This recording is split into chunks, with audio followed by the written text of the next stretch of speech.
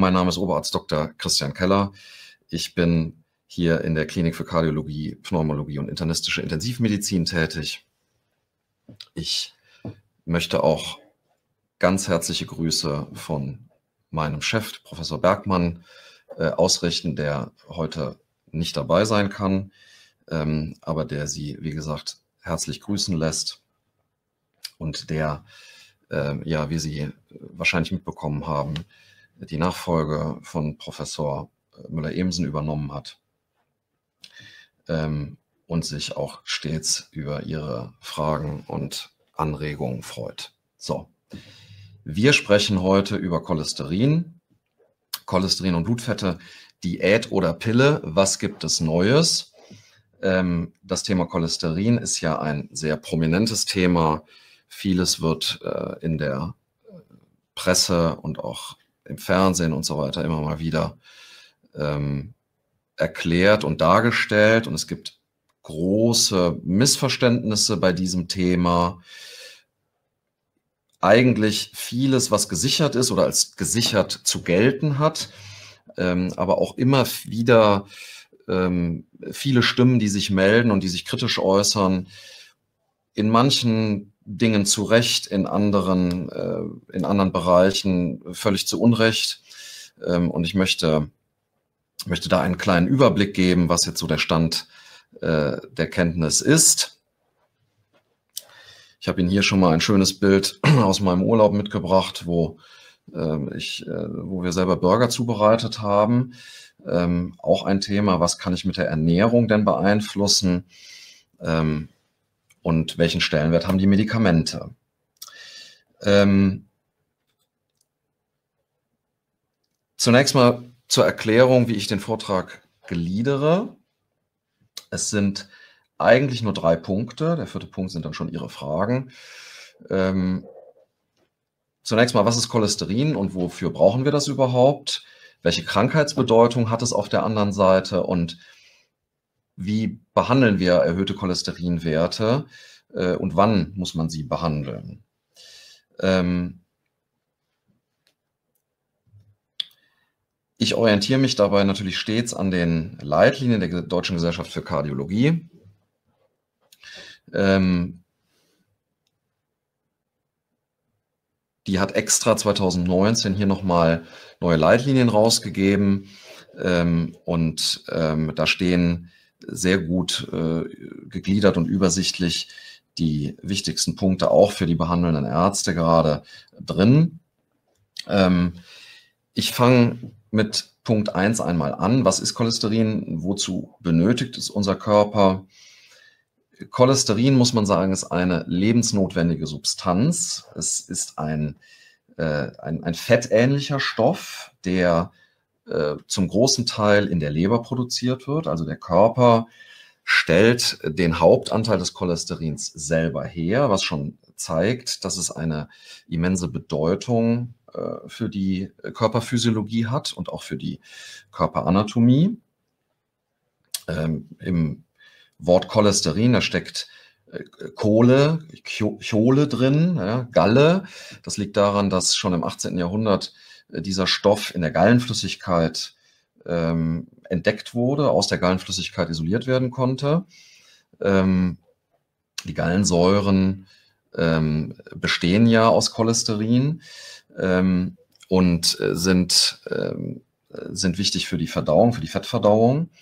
Ähm, die, äh, jede Zellmembran, also die, äh, der Fettfilm, der jede Zelle umgibt, besteht unter anderem aus Cholesterin. Ja. Cholesterin ähm, hält die Zellmembranen flüssig, ja, erhöht die Flüssigkeit äh, der Zellmembran. Ähm, hier habe ich mal so ein Bild ähm, benutzt, um Ihnen, dazu, äh, um Ihnen zu zeigen, wie so eine Zellmembran aufgebaut ist.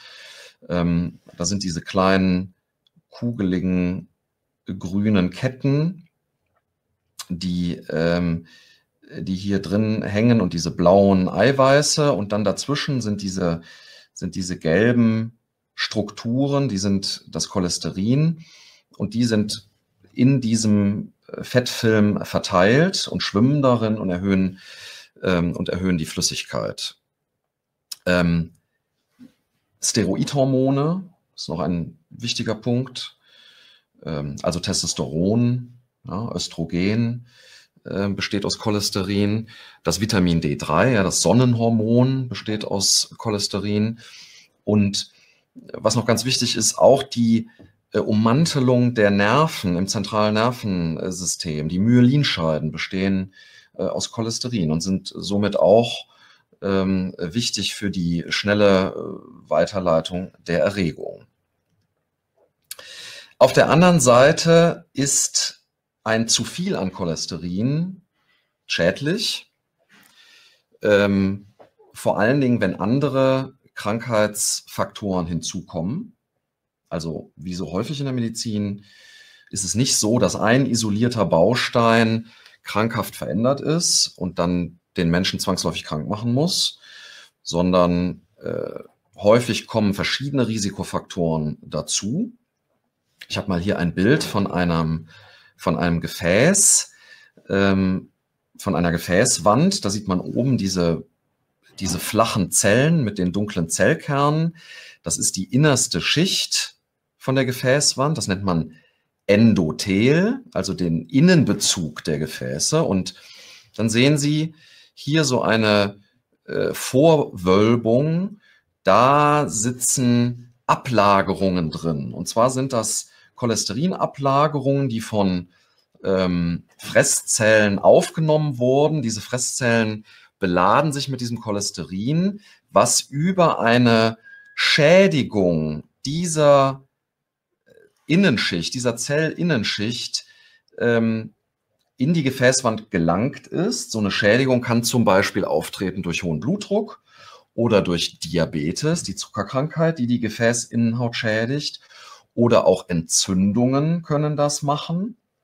Zum Beispiel das Rauchen entzündet die Gefäßwände. Ja, wenn man raucht, dann äh, läuft ständig eine subtile Entzündung in den Gefäßen ab und die Gefäß Innenschicht wird geschädigt und wenn dann ein zu viel an Cholesterin im Blut schwimmt und in die Gefäßwand hineingelangt und ähm, oxidiert, so sagen wir. In, in, Arterien ist ja Sauerstoff drin. Ne? Der, die Arterien äh, transportieren ja das mit Sauerstoff beladene Blut und diese, dieser Sauerstoff, der oxidiert, kann dieses Cholesterin oxidieren und es gelangt in die Gefäßwand, wird von diesen Fresszellen aufgenommen und diese Fresszellen nehmen so viel Cholesterin auf, dass die irgendwann so richtig wie ein Ballon aufgehen. Die, die, die, nennen, die nennt man auch Schaumzellen, weil sie so aufgebläht sind und mit weißem Material, äh, Cholesterinmaterial gefüllt sind und dann gehen die auch kaputt und es kommt zu weiteren Entzündungsreaktionen in der Gefäßwand. Und dann entsteht das, was wir die atherosklerotische Plaque nennen. Diese Plaque ist die äh, Einlagerung von äh, Fremdstoffen, wie eben dargestellt, und dann buckelt sich das so in die Gefäß, äh, in, in, die, in das Gefäßlumen, also in, in die Lichtung des Gefäßes vor und engt dieses Gefäß ein und kann dann zu Durchblutungsstörungen führen. Ich habe hier mal ein Laborblatt, einen Ausschnitt von einem Laborblatt mitgebracht. Da sieht man die, ähm, sieht man angegeben das Gesamtcholesterin, hier als Cholesterin bezeichnet. Das ist mit 240 erhöht. Dann sieht man HDL-Cholesterin, haben Sie vielleicht auch schon mal gehört. Das wird so landläufig als das gesunde Cholesterin bezeichnet, stimmt auch nicht mehr so ganz. Ähm, jedenfalls nicht in der äh, in dem Sinne, dass, äh, dass man sagen kann, je höher das HDL, desto gesünder. Das kann man so nicht mehr sagen, aber in einem gewissen Bereich stimmt das sicherlich. Dieses HDL ist hier vermindert und das LDL-Cholesterin äh, ist dann doch deutlich erhöht mit 207 Milligramm pro Deziliter, ähm, sodass äh, wir hier von einer Cholesterin-Stoffwechselstörung ausgehen müssen. Äh, und ähm, die Folgen äh, davon sind allgemein Gefäßerkrankungen und hier im Speziellen die koronare Herzerkrankung, also das, wovor sich auch jeder fürchtet, der Herzinfarkt, der Schlaganfall und zu einem gewissen Anteil auch die arterielle Verschlusskrankheit, die Schaufensterkrankheit, kennen Sie vielleicht auch diesen Begriff, also durchblutungsgestörte Beine, die dann auch nicht mehr längere Strecken zurücklegen können. Man bleibt dann in regelmäßigen Abständen äh, stehen, weil man die Schmerzen äh, dann nicht mehr aushält und muss Pause machen. Ähm, das ist die Schaufensterkrankheit. Ähm, ich möchte jetzt einmal als Beispiel, ich bin ja Kardiologe, möchte hier einmal ähm, ein Beispiel einer koronaren Herzerkrankung zeigen. Da habe ich hier äh, ein, eine Herzkatheteruntersuchung durchgeführt. Da sehen Sie oben diese stabförmige Struktur. Das ist der Katheter und dieser Katheter steckt in der rechten Kranzader drin. Das ist dieses große C, was Sie hier sehen. Und äh, da wird Kontrastmittel eingespritzt und jetzt sieht man das Gefäß. Und Sie werden mir zustimmen, dass diese Gefäßwand stark wandunregelmäßig ist und äh, darüber hinaus auch Verengungen hat. Hier zum Beispiel in der Mitte, da ist eine hochgradige Verengung und hier weiter unten ist auch eine hochgradige Verengung. Und diese Patientin ähm, hatte neben diesem pro chronischen Problem in der rechten äh, Ganzarterie ein äh, weiteres schlimmes Problem, nämlich eine verschlossene Vorderwandarterie. Da sehen Sie vorne diese Wolke, das ist noch der Restdurchfluss durch dieses verschlossene Gefäß. Und ähm, dieses äh, Gefäß ähm, habe ich versucht wieder aufzubohren. Da habe ich hier einen Draht reingelegt und habe äh, dann äh, dieses Gefäß mit einem Ballon, da sieht man den Ballon aufgedehnt, dann einen Stand eingesetzt und dann ist der Durchfluss wiederhergestellt. Das war eine Notfallbehandlung, weil die Patientin äh, einen akuten Herzinfarkt hatte durch dieses verschlossene Gefäß. Und Sie sehen jetzt, es läuft jetzt nach unten auf 18 Uhr. Da ist das Gefäß jetzt wieder vollständig vorhanden. Und äh, das war äh, natürlich schlimm für die Patientin, dass sie das äh, erleben musste, aber wir konnten sie dann mit dieser Behandlung retten. Ähm wir kommen zum entscheidenden Punkt. Wann muss das erhöhte Cholesterin wie behandelt werden? Und man kann zusammenfassen, das ist die, eigentlich die wichtigste Aussage, ähm, dass ähm, Patienten, die schon mal ein Krankheitsereignis an den Gefäßen, also ein Herzinfarkt, ein Schlaganfall ähm, oder äh, eine gesicherte Gefäßkrankheit der Beine oder äh, anderer Gefäße äh, gehabt haben, dass die eine absolute Indikation, also ein, ein, ein Muss haben für eine cholesterinsenkende medikamentöse Therapie unterstützend gerne oder auch äh, auf jeden Fall eine Änderung der Lebensgewohnheiten, Ernährungsumstellung, mehr körperliche Bewegung, Blutdruckeinstellung, all diese Dinge, kommen wir später auch nochmal äh, zu, äh, muss begleitend erfolgen. Das ersetzt aber die medikamentöse Therapie nicht. Das ist ein Punkt, der so gut untersucht ist wie wenig andere Dinge. Ähm, in äh, der Medizin, der Effekt der medikamentösen Cholesterinbehandlung äh, völlig gleichgültig, wie das anfängliche Cholesterin ist, äh, ist ein, eine absolute Indikation und muss mit der äh, Hauptsubstanzklasse, die wir dafür benutzen, die Statine, äh, erfolgen. Ähm, wir nennen diese Behandlung Sekundärprävention. Sekundär, weil äh, wir sozusagen eigentlich einen Schritt zu spät kommen, weil praktisch etwas, ein, eine Erkrankung ist eingetreten und sekundär sagen wir jetzt, jetzt muss das Cholesterin als ein Hauptrisikofaktor behandelt werden. Und ähm, das ist, äh, da gibt es überhaupt gar keine Diskussion. Ähm, was ist mit den äh, Patienten, die jetzt eigentlich noch gar keine, gar keine Erkrankung gehabt haben? Dafür gibt es Risikoscores, Patienten, äh, die also zum Hausarzt gehen und die sagen, Herr Doktor oder Frau Doktor, ich, ich würde gerne mal wissen, was habe ich eigentlich für ein Risiko, eine Gefäßerkrankheit, eine Gefäßerkrankung zu erleiden? Spielt das Cholesterin da bei mir vielleicht eine Rolle? Dann gibt es Rechenscores, da werden verschiedene äh, Punkte werden erfasst, die das Risiko bestimmen. Und wenn dort herauskommt, dass man ein mindestens zehnprozentiges Risiko hat, während der nächsten zehn Jahre eine äh, Gefäßerkrankung am Herzen ähm, zu erleiden, an der man, äh, an der man auch potenziell verstirbt, dann ist das eine Indikation für eine medikamentöse Cholesterinbehandlung. Äh, und der dritte Punkt ist eine schwere Nierenschwäche, die Niereninsuffizienz, wie wir sie nennen. Diese Niereninsuffizienz, das ist gewöhnlich definiert als eine, ähm, eine Leistung der Niere unter 30 Milliliter pro Minute. Ähm, und das ist auch vergesellschaftet mit einem hohen Risiko, Gefäßerkrankungen zu erleiden, weil durch die mangelnde Nierenfunktion äh, Nierengifte, Uremiegifte, äh, subtile Entzündungen in den Gefäßen verursachen können und dadurch das Risiko für Gefäßerkrankungen stark erhöhen.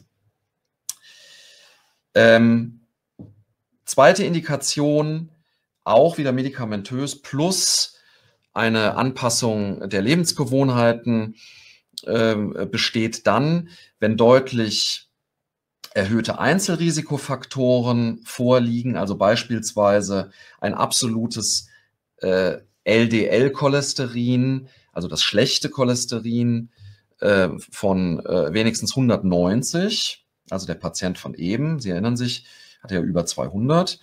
Ähm, oder zum Beispiel eine sehr starke Blutdruckerhöhung, über 180 zu 110 Millimeter Hg. Ähm, oder wenn jemand eine Zuckerkrankheit oder eine mittelschwere Nierenschwäche äh, hat, oder wenn jemand ein 5 bis 10-prozentiges Risiko hat, äh, während der nächsten zehn Jahre an, einer, an einem Myokardinfarkt, an einem Herzinfarkt zu versterben, äh, äh aufweist. Dieses, äh, dieses 5 bis 10-prozentige Risiko ergibt sich wieder aus diesem äh, Rechenscore, den ich eben genannt habe. Ähm, so sieht so ein Score aus. Das, da möchte ich jetzt gar nicht ins Detail gehen, das verwirrt nur. Äh, da gehen äh, Blutdruck und Gesamtcholesterinwerte, Geschlecht und Nichtraucher versus Raucher ein. Und ähm, dann kann man damit das 10-Jahres-Risiko bestimmen. Das ist etwas, wo, womit Ihnen Ihr Hausarzt oder Ihr Kardiologe helfen kann. Und ähm, dann müssen Sie sich da nicht kompliziert, gar nicht kompliziert dadurch äh, wursteln, sondern das kann dann der Profi für Sie übernehmen und Sie optimal beraten. Ähm, jetzt haben wir von den Leitlinien die beiden oberen Punkte, sehr hohes Risiko und hohes Risiko, haben wir schon abgehakt. Äh, das sind die beiden grünen Pfeile. Und jetzt ist die Frage, was passiert denn mit den Patienten, die nur ein mittleres oder sogar nur ein niedriges Risiko haben äh, anhand dieser Scores? Eine schwere Gefäßerkrankung zu erleiden. Und da muss man ehrlicherweise sagen, da bewegt man sich zumindest in einem Graubereich. Da weiß keiner so ganz genau, ähm, wie stark es dem Patienten jetzt hilft, ihn medikamentös zu behandeln. Deswegen haben die Leitlinien das auch sehr vorsichtig ausgedrückt. Ich habe Ihnen das mal rot eingerahmt und unterlegt. Also Personen mit einem mittelschweren, hier wird moderat, wird es moderat genannt, sollte ein LDL-Cholesterin-Zielwert von unter 100 Milligramm pro Deziliter erwogen werden. Also immer dann, wenn Leitlinien so Wörter benutzen wie sollte und erwogen werden, dann drückt das schon so ein bisschen aus, äh, dass man, dass man das genau prüfen muss und dass man individuell mit dem Patienten äh, das Detailrisiko möglichst gut erfassen muss, äh, um eine möglichst genaue Vorstellung davon äh, haben zu können, hilft man dem Patienten jetzt mit einer medikamentösen Therapie oder ist sie gegebenenfalls überflüssig? Und andersherum, braucht vielleicht jetzt gerade dieser Patient, der eigentlich nur ein Cholesterin vielleicht von 130 oder 120 hat, braucht vielleicht gerade der doch eine medikamentöse Behandlung, weil andere Faktoren mit reinspielen, die sein Risiko jetzt individuell erhöhen. Äh, und genauso ist es bei den Patienten mit dem, mit Personen mit dem niedrigen Risiko. Ja, also ein, ein, vielleicht ein Patient, ähm, der ein Cholesterin von 130 hat, der Nichtraucher ist, einen guten Blutdruck hat, aber der vielleicht in der Familie eine deutliche Häufung von Herzinfarkten aufweisen muss. Äh, vielleicht ist der Vater schon früh an einem Herzinfarkt verstorben oder ähnliches, ähm, wo man dann doch überlegen muss, ist hier nicht eine äh, präventive Behandlung mit einem Medikament, mit einem Statin erforderlich. Das ist etwas, was ich für Sie im Allgemeinen jetzt nicht mit einem Kochrezept beantworten kann. Das ist etwas, was Sie mit Ihrem Arzt oder ähm, auch gerne mit uns ähm, besprechen äh, können und sollen. Äh, denn äh, das kann nur der Profi äh, auseinanderdividieren, ähm, wie stark jetzt äh, die Indikation ist, Sie mit einem Medikament zu behandeln oder auch sogar weitere Untersuchungen folgen zu lassen oder voranzuschalten. Ähm, wenn man das alles jetzt wunderbar berechnet hat, dann äh, gibt es äh, hier in tabellarischer Form Empfehlungen, äh, wie man den Patienten äh, entsprechend behandeln soll. Ja, äh, hier wird dann in grün unterlegt, wird gesagt, man, der Patient wird, wird bezüglich seines Lebensstils beraten. Also man sagt, guck mal hier, da könntest du es noch verbessern, ein bisschen mehr körperliche Bewegung oder ein bisschen gesünder ernähren, weniger tierische Fette oder dies oder jenes. Ähm, Lebensstiländerungen mit einer eventuellen medikamentösen äh, Therapie ähm, ist hier als äh, gelb unterlegt äh, gekennzeichnet und ähm, die absolute Indikation, also sprich klare Anweisung zur Lebensstiländerung und eine medikamentöse Therapie ist dann hier rot. Auch hier jetzt möchte ich gar nicht zu differenziert äh, darauf eingehen und das jetzt in verschiedenen Szenarien durchspielen. Das, glaube ich, verwirrt nur und langweilt auch ehrlicherweise, denn ähm, Sie an den Bildschirmen jetzt interessiert ja vor allen Dingen Ihr spezieller Fall und da ähm, stehe ich äh, dann mit Fragen, für Fragen auch gleich zur Verfügung. Wie soll denn dann jetzt behandelt werden? Was, was heißt das denn überhaupt Lebensstiländerung?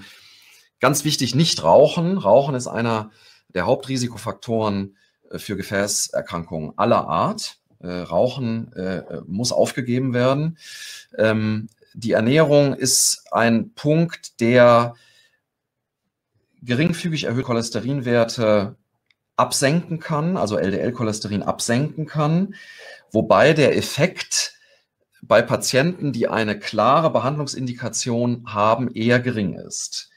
Äh, man muss wissen, dass das Hauptcholester der Hauptcholesterinanteil in der Leber produziert wird und die Art, wie die Leber das Cholesterin äh, produziert, beziehungsweise die Menge, die die Leber produziert, ist stark genetisch vorbestimmt. Und wenn Sie ein LDL-Cholesterin haben von 160 und es dann schaffen, mit einer radikalen Diät und, und äh, Umstellung ihrer Lebensgewohnheiten ähm, dann das Cholesterin vielleicht auf 145 oder 148 abzusenken, äh, dann ist das ein, äh, ein, dann ist das ein, ein bemerkenswerter Erfolg jetzt für Sie, äh, dass Sie sich da auch so kontrolliert haben. Es ist aber ehrlicherweise ein Effekt, der zu gering ist und der vor allen Dingen, wenn man wirklich gefährdet ist, eine Gefäßerkrankung zu erleiden, dann auch einfach nicht ausreicht. Dann muss medikamentös therapiert werden, äh, so dass ich den Punkt Ernährung und auch körperliche Aktivität auf jeden Fall ähm, als wichtig herausstellen will. Äh, ergänzend ist das essentiell, vor allen Dingen äh, zur Absenkung der ähm, de, der Triglyceride, ne, ist eine, eine bestimmte Art von Fett, die auch im Blut nachweisbar ist, Triglyceride, und für die Erhöhung des äh, gesunden Cholesterins HDL. Aber der Effekt insgesamt ist ähm, in vielen Fällen doch sehr begrenzt. Körpergewicht, also äh, Minderung des Taillenumfangs und des, des ungesunden Bauchfettes äh, ist noch ein wichtiger Punkt und die Blutdruckeinstellung ist auch sehr wichtig, da erhöhter Blutdruck in den äh, Arterien, wie eben äh, eingangs erwähnt, die Innenschicht der Gefäße schädigt und damit die ähm, äh, Atherosklerose begünstigt. Ähm, hier noch ein Punkt zur Lebensmittelauswahl. Ähm, es ist relativ breit bekannt, dass ähm, man ungesunde Fette, also tierische Fette, Transfette, ähm, die sich vor allen Dingen in, ähm, in Backwaren und in äh, Croissants und so weiter befinden, ähm, dass man die meiden soll, beziehungsweise dass, dass diese Fette nur einen geringen Anteil an der Ernährung haben sollen.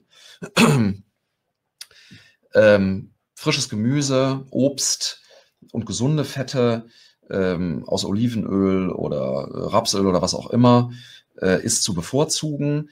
Ähm, das sind auf jeden Fall Punkte, die unterstützend, wie eben äh, erwähnt, äh, zum Einsatz kommen sollen, ähm, in Verbindung am besten mit moderater körperlicher Ertüchtigung. Noch ein paar Worte zu den Medikamenten. Ich hatte es eben erwähnt, die Medikamentenklasse, die wir hauptsächlich einsetzen, sind die sogenannten Statine. Ähm, die äh, haben äh, verschiedene Vorsilben. Ne? Also äh, hier habe ich mal das Atorvastatin als einen für uns, als für den äh, wichtigsten Vertreter ähm, in der Behandlung äh, einmal hier aufgeführt.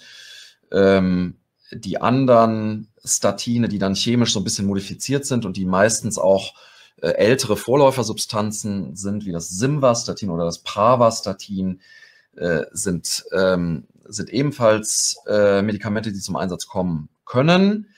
Ähm, wir bevorzugen, wie gerade gesagt, das Atorvastatin oder das Rosuvastatin. Das sind die potentesten, also stärksten Statine, die den günstigsten Effekt haben. Äh, kombiniert werden kann äh, dieses Medikament ähm, mit dem rechts daneben äh, dargestellten Ecetemib. Das ist ein, ein Mittel, was die Cholesterinaufnahme aus dem Darm senkt äh, und auch nochmal einen Zusatznutzen so ungefähr um 20 Milligramm pro Deziliter äh, an Zusatznutzen bringen kann. Also ähm, es ist ganz gut untersucht worden in einer Studie, äh, dass Patienten, die so ein LDL-Cholesterin von 70 oder 75 Milligramm pro Deziliter haben, die ähm, können das äh, schaffen, dann mit dem Ecetimib zusätzlich auf, auf, auf 75 oder, äh, Entschuldigung, auf 55 oder 50 Milligramm pro Deziliter äh, zu kommen. Und ähm, da ist auch gezeigt worden, dass nochmal die Rate an Durchblutungsstörungen im Herzmuskel, also Herzinfarkte, äh, nochmal äh, gesenkt werden äh, kann. Ähm, neue, äh, diese Mittel gibt es auch als Kombination in einer Tablette links unten, äh, da dann jetzt in Verbindung mit dem älteren Simvastatin. Äh, und ganz rechts unten ist eine neue Medikamentenklasse, die haben einen ganz, ganz wilden Namen, die heißen äh, PCSK9-Inhibitoren. Ähm, das sind Mittel, die man spritzen muss. Ähm, alle paar Wochen muss man die ins Bauchfett spritzen. Das kommt in Betracht, dieses Mittel kommt in Betracht, wenn äh, Patienten das Problem haben, trotz der höchsten Dosis an äh, Statin einfach nicht auf die Zielwerte äh, kommen können. Ähm, diese Medikamente sind äh, die neuesten, sind die teuersten und auch die stärksten ähm, äh, Medikamente. Ähm, aus diesem Grund kommen sie wirklich nur in Betracht, wenn keine andere Therapieform wirksam genug ist. Ich hoffe, ich konnte Ihnen hier einen interessanten Überblick geben. Ähm, bedanke mich für die Aufmerksamkeit und würde mich äh, jetzt über Ihre Fragen freuen.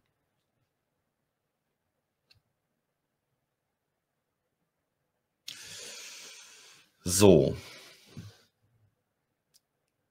Ich probiere jetzt einmal ganz an den Anfang zu gehen. Da ist von dem Herrn ganz am Anfang ähm, ist gefragt worden, was bedeutet LDL und HDL-Cholesterin? Ja, also ähm, Cholesterin ist ja eine fettähnliche Substanz und kann nicht im flüssigen Blut, was ja zum großen Teil aus Wasser besteht, äh, einfach äh, herumschwimmen, sondern es muss sozusagen emulgiert werden, wie die Fetttröpfchen in der Milch. Und äh, die Cholesterine, je nachdem, in welche Richtung sie transportiert werden, werden an Eiweiße gekoppelt. Und zwar werden sie von Eiweißen eingehüllt. Und ähm, das Cholesterin, was aus der Leber zu den Zielorganen gebracht wird, das heißt LDL. Das ist eine Abkürzung und steht für Low Density Lipoproteins. Und äh, das sind Lipoproteine, also Cholesterin mit Eiweiß von geringer Dichte. Und ähm, die sind besonders cholesterinreich und äh, sind äh, die Cholesterinart, die ähm, atherogen wirkt, also die vermag Gefäßplaques auszulösen. Das HDL steht jetzt nicht etwa für healthy, also gesund, obwohl man es sich damit eigentlich ganz gut merken kann, sondern es steht für High Density Lipoproteins, also ähm, Cholesterin-Eiweiß-Verbindungen höherer Dichte. Und dieses HDL ist immer beworben worden oder ist, ist, immer, ist immer verstanden und aufgegriffen worden als das gesunde Cholesterin. Denn in der Tat bringt dieses HDL das Cholesterin aus den Gefäßwänden zurück zur Leber, putzt also sozusagen die Gefäßwände und ist deswegen ein äh, Cholesterin, was gerne doch eher im höheren Bereich angesiedelt werden soll. Also wenn Patienten, jüngere Frauen haben das zum Beispiel sehr, sehr häufig, die haben dann hohe HDL-Werte von 55 oder 60 und ähm, man geht davon aus, dass diese Werte ähm, protektiv, also schützend sind. Das muss man sagen, ist jetzt mittlerweile zum Teil auch überholt. Also die Wissenschaft hat sich da, ähm, hat sich da weiterentwickelt und man weiß mittlerweile, dass Patienten mit sehr hohen HDL-Werten äh, nicht mehr davon profitieren, ähm, von diesen hohen HDL-Werten. Also Patienten, die jetzt 70, 80 oder 90 Milligramm pro Deziliter haben. Äh, diese Patienten sind jetzt nicht unbedingt besser geschützt, sondern im Gegenteil, da ist dann jetzt der HDL-Wert so hoch, Entschuldigung, dass dieser HDL-Wert jetzt so hoch, dass auch dieses Cholesterin durch den Sauerstoff oxidieren kann und in den Gefäßwänden abgelagert werden kann. Das heißt, wir haben jetzt hier nicht mehr einen linearen Zusammenhang, äh, sondern wir haben jetzt sozusagen eine U-förmige Kurve. Ja, also für, über einen bestimmten Bereich mit steigendem HDL geht die Ereignisrate, geht die Durchblutungsstörungsgefahr nach unten und dann irgendwann, wenn das HDL äh, wieder hochgeht, ab 70, 80, 90 Milligramm, Milligramm pro Deziliter, dann steigt die Rate an Gefäßerkrankungen auch wieder an. Ähm, ich klicke mich hier noch einmal durch, ob wir noch interessante Fragen haben. Das ist bislang nicht der Fall.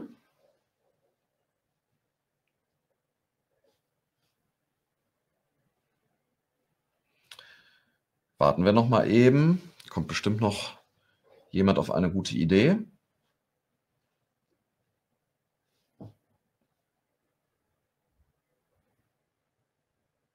Ich kann die Zeit, die verbleibende Zeit äh, vielleicht noch nutzen, ähm, noch ein, äh, ein äh, Angebot zu unterbreiten und äh, einen Aufruf zu starten.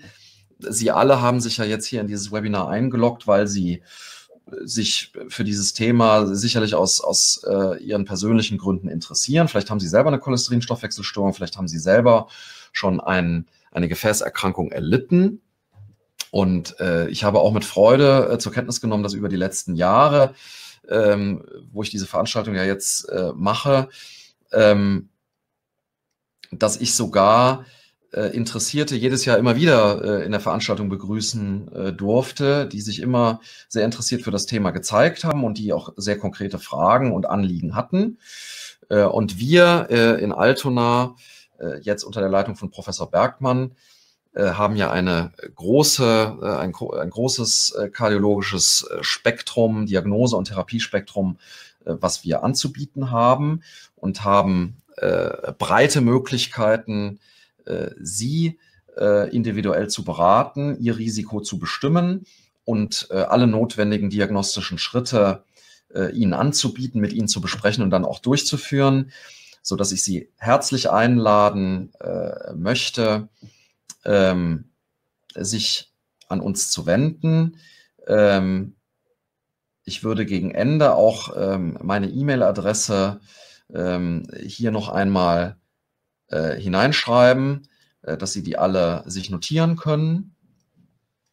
Ähm, und dann sind Sie herzlich eingeladen, äh, sich per E-Mail bei mir zu melden und ähm, dann äh, geben wir uns Mühe, eine Lösung für Ihr Anliegen zu finden. Äh, ganz unkompliziert und ähm, ohne dass Sie lange auf äh, Termine warten müssen. So, hier ist eine äh, Frage. Welche Medikamente äh, sind gut äh, nur für die Triglyceride? Also hier ist ein äh, Patient oder eine Patientin, die offenbar erhöhte Triglyceride hat. Die Triglyceride kennen Sie vielleicht den Begriff, das sind die Fette, die auch das Speicherfett darstellen. Also das ist das Fett, was ähm, ich jetzt nicht, aber andere Menschen äh, im Unterhautfettgewebe äh, abgelagert haben. Ähm, und ähm, dieses Speicherfett ähm, gibt es auch in einer Form im Blut. Dort schwimmt es her äh, herum und ähm, ist auch ein äh, Energiestoff. Also diese Triglyceride werden ähm, in die Zellen aufgenommen, vor allen Dingen dann, äh, wenn man ähm, äh, wenn man nüchtern ist, also wenn man sozusagen von den Reserven zehren muss, dann werden diese Triglyceride in die Zellen aufgenommen und werden dort verbrannt, biochemisch verbrannt und ähm, werden dann ähm, und, und die Energieausbeute wird dann benutzt, um den Körper am Laufen zu halten. Äh, auch diese Triglyceride können äh, im Blut erhöht sein. Äh, gewöhnlich je nach Labor äh, ist, das, äh, ist da der Grenzwert 150 bis 200 Milligramm pro Deziliter. Ähm, und auch diese Triglyceride können, wenn sie über äh, lange Zeit und in einem ähm, relevanten Maß erhöht sind, dann können auch diese ähm, auch diese Triglyceride können Gefäßerkrankungen Vorschub leisten. Ähm, die können noch eine Menge andere Erkrankungen machen. Sehr hohe Werte zum Beispiel können auch Bauchspeicheldrüsenentzündungen auslösen. Äh, und deswegen ist das äh, auch eine, ähm, eine Fettstoffwechselstörung, die man auf jeden Fall ernst nehmen muss, die man nicht links liegen lassen sollte. Ähm, interessanterweise gehen die Triglyceride sehr stark nach oben, ähm, wenn man äh, einen gewissen Lebensstil führt. Also wenn man sich wenig körperlich bewegt, also wenig Sport macht, wenn man viel Alkohol trinkt, Alkohol hat einen hohen Brennwert, ja, hat fast so viel, liefert pro Gramm fast so viel Kilokalorien wie Fett. Ja, also äh, ein Gramm Alkohol liefert sieben Kilokalorien ähm, ähm, Energie. Fett liefert 9 Kilokalorien pro Gramm, also ist davon nicht weit entfernt. Und äh, regelmäßiger, äh, höherer, äh, stärkerer Alkoholkonsum äh, erhöht relevant die Triglyceride. Ähm, der dritte Punkt ist ein, ein, ein, eine, eine zucker- und fettreiche Ernährung. Ähm, und daraus ergebt, äh, ergeben sich eigentlich auch schon die Hauptempfehlungen für die Behandlung einer einer äh, Hypertriglyceridämie, wie wir sie nennen, also eines erhöhten Triglyceridspiegels im Blut. Man sollte darauf achten, ähm, viel frisches Gemüse und Obst und ähm, jetzt wenig kristallinen Zucker und wenig tierische Fette zu konsumieren. Sollte ruhig alle zwei bis drei Tage 30 Minuten moderat Ausdauertraining betreiben. Ähm, und sollte ruhig mal Alkoholkarenz halten. Und meistens ist es dann schon so, wenn man dann sechs bis acht Wochen später äh, die Triglyceridspiegel kontrolliert, dann sind die meistens schon relevant abgesenkt oder sogar normalisiert. Sollte das nicht ausreichen, kommen auch hier Medikamente in Betracht. Das Atorvastatin, also das, äh, die Substanz, äh, die ich eben hier schon gezeigt habe, hat auch einen deutlichen Effekt auf die Triglyceride, da nicht nur das LDL, also das ähm, Cholesterin, was man, was ich eben äh, hier erklärt habe, senkt, sondern weil es auch die sogenannten VLDL, das sind die Eiweiß-Cholesterin-Verbindungen, die die Triglyceride transportieren, erfolgreich absenkt. Also erster Schritt bei den hohen Triglyceriden, Lebensstilumstellung, körperliche Bewegung, Ernährung und Alkohol. Äh, und dann in zweiter Linie medikamentöse Therapie auch mit einem Statin.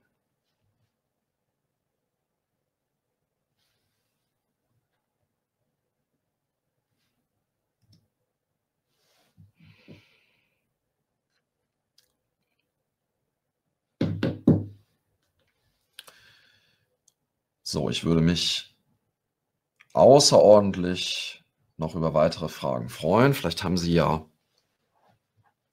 noch Punkte, die Sie, die unklar geblieben sind oder ein, eine spezielle Konstellation von Ihnen persönlich, die Sie vielleicht kurz und knapp hier darstellen können, ähm, auf die ich noch kurz eingehen kann.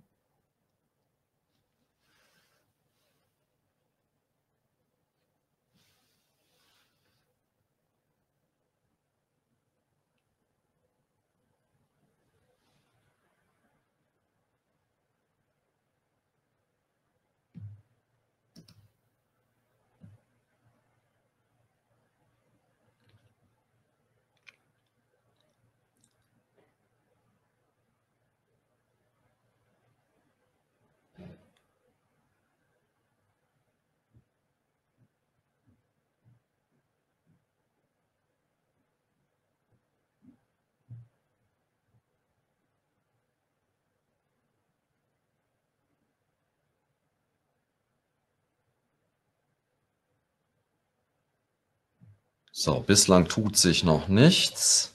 Vielleicht sind auch schon alle Unklarheiten beseitigt worden.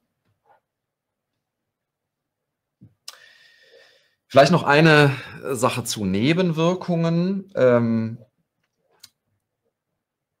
in äh, den Medien äh, sieht man bei Zeiten, ich will mal sagen, Gegendarstellungen, die die ähm, medikamentöse Cholesterinbehandlung sehr, sehr negativ beurteilen. Ähm, ohne das jetzt en Detail erörtern zu wollen, möchte ich auf jeden Fall festhalten, dass es in der Medizin nie eine Aussage geben kann, das ist gut oder das ist schlecht.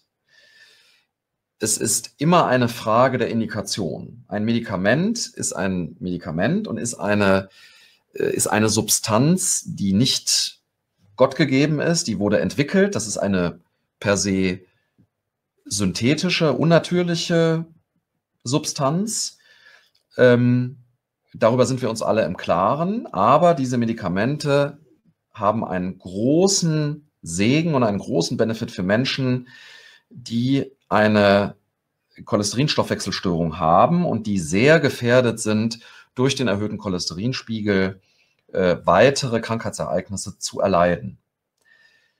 Daher ist die Aussage, die Medikamente sind schlecht, die sind schädlich, die sind nebenwirkungsträchtig, zunächst einmal in dieser Pauschalität nicht richtig. So eine Aussage kann, kann nicht richtig sein, weil sie überhaupt nicht unterscheidet, welchen Patienten habe ich denn jetzt vor mir. Eine medikamentöse Behandlung, die nicht angezeigt ist, ist immer schlecht, weil die Negativaspekte des Medikaments dann automatisch überwiegen. Die Hauptmedikamentenklasse, die wir einsetzen, die Statine, können in seltenen Fällen Nebenwirkungen haben, ähm, aber ähm, diese Nebenwirkungen sind oft beherrschbar.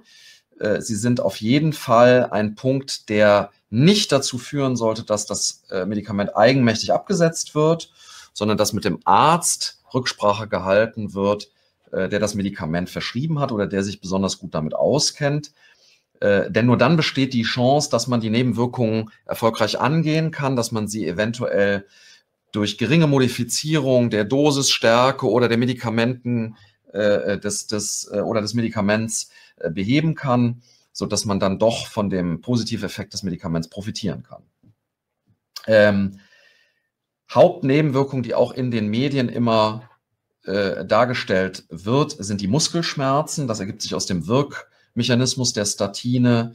Ähm, in den Muskeln, äh, die ja sehr stark Brennstoffe brauchen, gibt es eine fettähnliche Substanz, die auch gebildet wird aus Cholesterin. Und manche Patienten haben, wenn sie ein Statin nehmen, vor allen Dingen, wenn sie es in höherer Dosierung einnehmen müssen, dann das Problem, dass diese fettähnliche Substanz, die nennt man Coenzym Q, hm, die sitzt in den Mitochondrien, in den Kraftwerken unserer Zellen drin, äh, haben dann das Problem, dass, dass davon vielleicht nicht mehr genug hergestellt wird und dann können sich Muskelschmerzen einstellen. Aber wie gesagt, das ist eine Nebenwirkung, die oft auch gut beherrschbar ist mit äh, ein paar Modifizierungen oder mit ein paar Begleitmaßnahmen, die dann zum Erfolg führen.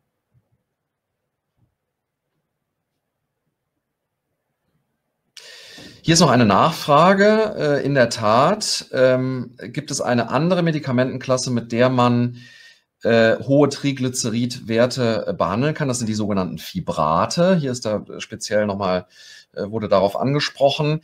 Äh, die Fibrate haben dann eine Indikation tatsächlich, wenn eine isolierte, sehr krankhafte äh, Triglyceridstoffwechselstörung vorliegt, ähm, die man speziell dann maßgeschneidert mit äh, einem Medikament aus dieser Klasse behandeln muss. Ähm, man muss aber ehrlicherweise sagen, dass diese Medikamentenklasse an Stellenwert immer weiter verloren hat.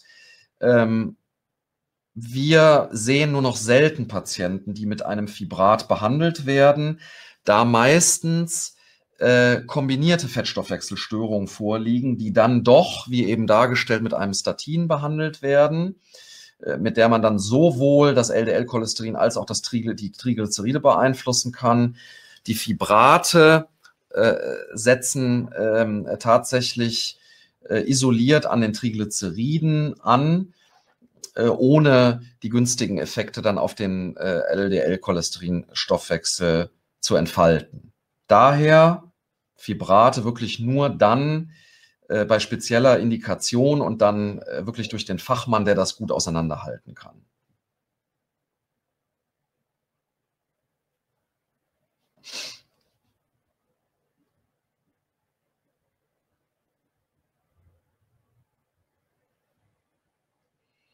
So, da hat noch eine Patientin gerade angefangen zu schreiben, traut sich aber, glaube ich, nicht so richtig. Nur Mut.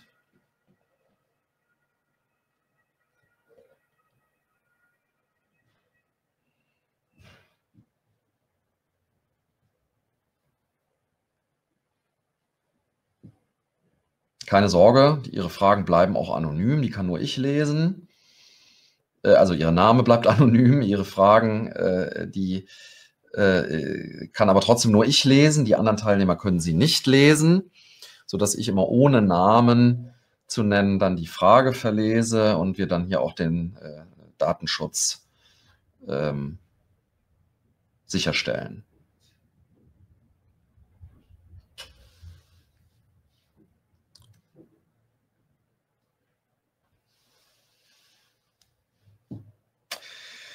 So, hier wird gefragt, ähm, ob nach äh, Beginn einer medikamentösen Therapie und begleitender Reduktion der sonstigen Risikofaktoren be beziehungsweise der Lebensstiländerung, also Ernährungsumstellung und so weiter, ob dann gegebenenfalls die medikamentöse Therapie wieder ausgeschlichen werden kann. Ähm, in Einzelfällen kann das in Betracht kommen. Ähm, tatsächlich gibt es Patienten, die vorübergehend eine medikamentöse Therapie brauchen, ähm, um sozusagen initial, anfänglich die äh, Cholesterin äh, ähm, Therapie anzustoßen und die dann, wenn sie dann zwei, drei, vier Monate es geschafft haben, wirklich ihren Lebensstil zu ändern ähm, und, äh, und das dann auch weiter aufrechterhalten können, die dann versuchen, ähm, das Statin vielleicht dann mal wegzulassen und kontrollieren dann sechs bis acht Wochen später die Werte nochmal. Das kann tatsächlich in Betracht kommen, wenn die Werte nur moderat erhöht sind ähm, und, äh, und, und es dann tatsächlich gelingt, äh, diese Werte dann so abzusenken, dass kein Medikament mehr äh, in Betracht kommen muss. Das kann in Einzelfällen wirksam sein. Aus meiner Erfahrung kann ich Ihnen sagen, dass wir meistens Menschen antreffen, ähm, die es mit Lebensstiländerung einfach nicht schaffen, den Cholesterinspiegel so abzusenken, äh, dass es ausreichend ist. Denn äh, wie eben auch gesagt, äh, auch durch radikale Diäten oder Ernährungsumstellungen äh, gelingt es, man, gelingt es manchmal nur um 10 oder 15 Milligramm pro Deziliter ähm, das Cholesterin abzusenken und das ist dann einfach nicht ausreichend. Zumal die anderen günstigen Effekte von dieser doch sehr ausgeprägten Cholesterinsenkung ähm, äh, dann gar nicht voll ausgeschöpft werden. Das heißt, begleitende Maßnahmen immer ja, klares Ja dazu weil auch die medikamentöse Therapie dann einfach stärker wirksam ist und weil es auch generell gesundheitsfördernde Aspekte äh, innehat. Es geht ja nicht nur um das Cholesterin, sondern die günstigen Effekte von äh, einer äh, gesünderen Ernährung und von körperlicher Ertüchtigung, die äh, dehnen sich ja auch auf andere Bereiche aus. Man weiß beispielsweise, dass eine Reduktion äh, des Konsums äh, von rotem tierischen Fleisch sich auch günstig auf die Darmkrebshäufigkeit auswirkt. Es äh, wirkt sich günstig auf den Blutdruck aus. Ähm, und diese Dinge, äh, von diesen Dingen will man ja auch profitieren. Das heißt, es ist immer ein, es ist immer ein, eine Gesamtreduktion verschiedener Risikofaktoren, die man, ähm, die dann, dann, die man dann kombiniert äh, ähm, absenken will um maximal von äh, diesen Maßnahmen zu profitieren. Ähm, äh, und es ist nie ein Risikofaktor oder sehr selten ein Risikofaktor alleine. Wir haben selten Patienten, die wirklich nur einen Risikofaktor haben, also beispielsweise ein extrem erhöhtes Cholesterin, was genetisch bedingt ist. Ähm, das gibt es in Ausnahmefällen mal, dass ein 18-Jähriger in die Sprechstunde kommt und hat ein LDL-Cholesterin von 320 äh, weil er eine genetische Veranlagung dazu hat ähm, äh, und aber nicht raucht, keine familiäre äh, Vorgeschichte für Herzinfarkte, Schlaganfälle hat, keinen erhöhten Blutdruck hat, äh, keinen Diabetes hat, keine Nierenschwäche. Das gibt es, das ist dann ein Risikofaktor, der wird dann medikamentös behandelt.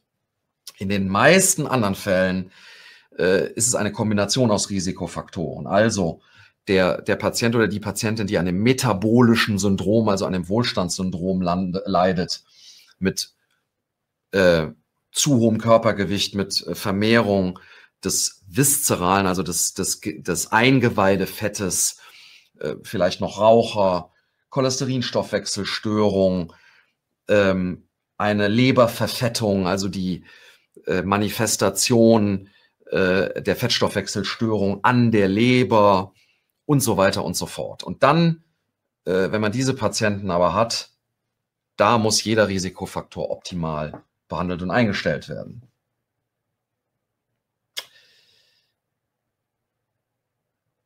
Ja, liebe Patientinnen, liebe Patienten, meine sehr geehrten Damen und Herren, ich ähm, hoffe, es hat Ihnen gefallen.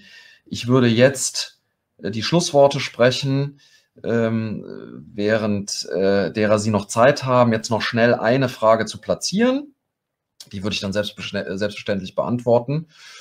Ähm, ansonsten äh, sind wir jetzt am Ende der Zeit. Äh, und ich habe mich sehr gefreut, dass Sie eingeschaltet haben. Ich hoffe, äh, es hat Ihnen einen guten Überblick verschafft und äh, Sie äh, haben alle Fragen so jetzt für sich beantworten können. Hm, wie gesagt, erneut das Angebot. Ähm, ich würde das mal in den Chat hineinschreiben. Das ist jetzt meine E-Mail-Adresse.